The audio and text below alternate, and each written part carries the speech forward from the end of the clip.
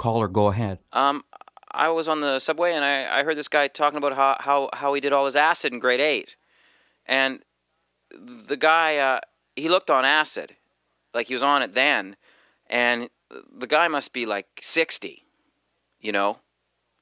So I just want to say that people should be um, more responsible when they're taking public trans uh, transportation because, first of all, if they're going to mutter to themselves, that's one thing which I don't like, and I don't like that at all when people just they're alone and they mutter. But if they're going to mutter to themselves, they should not be allowed uh, to mutter bullshit because then children hear it and all of a sudden they think dogs are cats. It's really hard to figure stuff out. So if you see a ranting guy and he's only got like one chew on, and he says he did all his acid in grade eight, and he's on acid, then um, I don't know, maybe maybe uh, you'll you'll turn gay because uh, uh,